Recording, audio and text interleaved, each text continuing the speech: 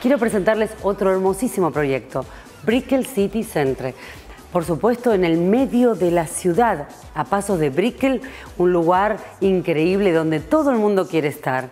Ahí vamos a conocerlo juntos.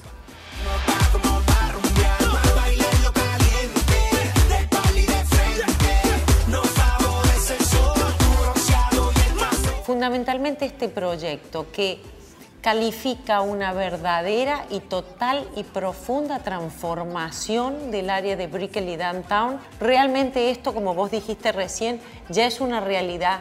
Ya está el hotel eh, completo, ya hay dos edificios en la estructura también completa.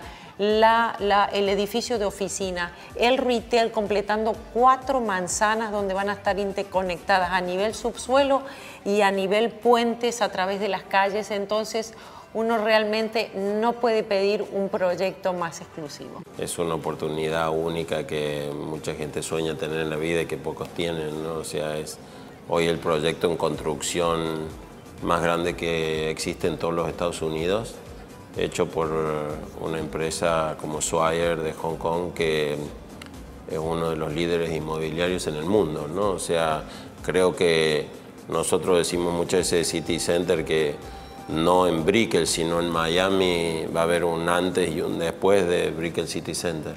Pero obviamente un proyecto mixto como este, en el centro, en el corazón de Miami, es una cosa realmente muy, muy distinta y muy divertida. Hoy en día estamos muy afortunados de decirle que en menos de un año, a finales de este año, vamos a estar entregando dos torres residenciales además de uno de nuestros hoteles que se llama el East Miami.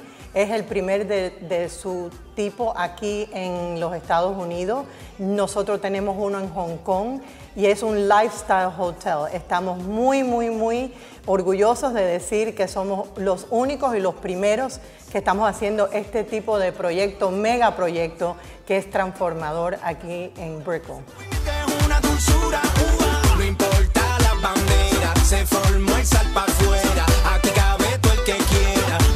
Si usted quiere recibir más información sobre los proyectos que le hemos mostrado en el show, es muy fácil. Entre a nuestra página de internet Pinarmentano, envíeme un email y me contactaré súper rápido para informarle sobre estos proyectos impresionantes.